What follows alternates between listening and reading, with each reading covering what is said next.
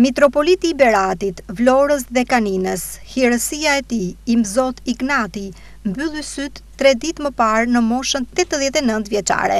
Të gjithë e kujtojnë në qytetin muze, Imzot Ignatin, i cili prej vitesh shërbeu si mitropolit.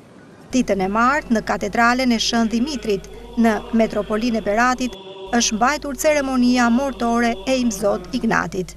Në ceremoni kanë qenë të pranishëm të gjithë përfaqësuesit e komuniteteve fetare në vend, përfaqësues të kishave ortodokse nga gjithë vendi, drejtues të institucioneve dhe besimtarë, por dhe qytetarë të besimeve të tjera.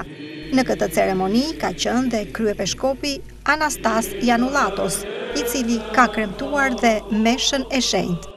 Besimtarë dhe përfaqësues të komuniteteve fetare i ka dhënë lamtumirën e fundit Imzot Ignati, trupi i të cilit do të prehet përjetë në shtëpinë e Zotit.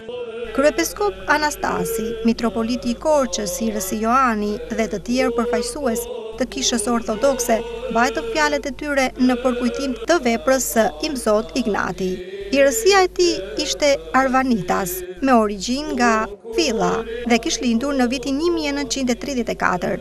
Ai studioi në shkollën kishtare Patmiadha si dhe në Fakultetin Teologjik të Universitetit të Athinës.